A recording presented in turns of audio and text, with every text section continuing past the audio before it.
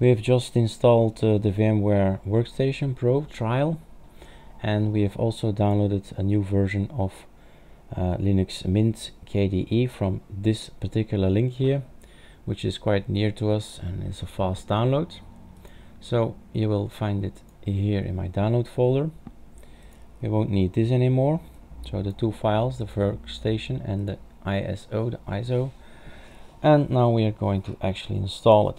So doesn't matter what kind of uh, operating system you choose it's always the same.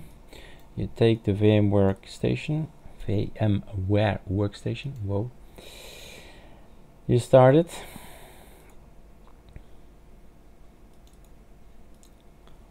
And you wait for it.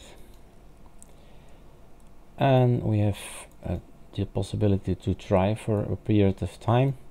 You have to enter a valid email this is quite valid.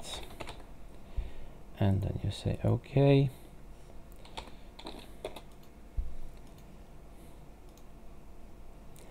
And then thank you for using it. And then we're going to create a new virtual machine open already one connect to remote server. So the most um, easy the easiest one is create a new one. Typical is recommended. Let's do that okay for us. Use an ISO image. As I've said I've downloaded something so let's go for it. This is the download folder. We have linked to the virtual ISO virtual CD or DVD I will install the operating system later. No I will install it straight away. I'm going to choose for Linux so we have a lot of options and a lot of choices as you can see but our Linux Mint is not one of them. Asian, Fedora, Mandriva. There's a lot of movies I could make just by trying out all of these systems. For us, Ubuntu 64 will be quite good. There may be other possibilities as well, like choosing the kernel, but actually Linux Mint is working on an Ubuntu, so it's a safe choice. Then they're going to install it in a, a, folder called VMware. Okay, no problem. But now it's going to be called Linux Mint. Uh, sorry, Ubuntu. So I want to call it, of course, what it is. Linux Mint KDE 70.3. And that's it. Next. Then the disk size. The virtual machine's hard disk is stored as one or more files on the host. I'm always choosing maybe it's tradition I don't know but it's I'm always choosing for one single file and a maximum disk size.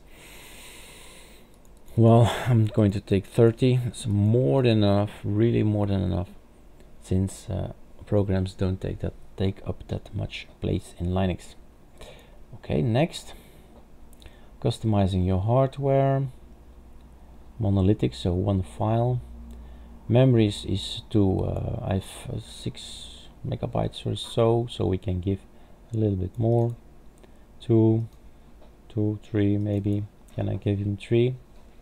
Let's see. Close. Three megabytes out of six so 50 50 and the rest is okay. It should not be changed. Finish and then of course they're talking about these special programs. We'll see it later. As you you can read it here. Menu bar select VM install VMware tools. That's the most important thing you have to remember. Close. And now the movie is going to take some time since we're actually going to install a complete system. So it's better maybe I pause the movie here so you can uh, see the installation in another movie